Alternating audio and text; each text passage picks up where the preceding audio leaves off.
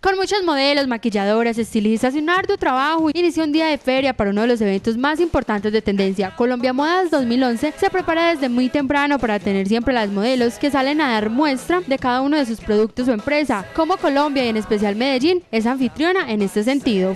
Entonces nosotros estamos a cargo de maquillar las 29 pasarelas que están dentro del marco de la feria. Somos un equipo de más de 33 maquilladores y peinadores que realizamos todo el trabajo de maquillaje y pelo y vamos desde un proceso de preproducción hasta la producción en sí de los desfiles. Para esta temporada el maquillaje que hace ver la mujer siempre natural es la principal propuesta de moda. Los ojos ahumados es otra buena opción para lucir siempre bellas. Venimos con una tendencia de pieles muy naturales, vemos muchos brillos, brillos naturales, eh, muchas pieles como tipo verano.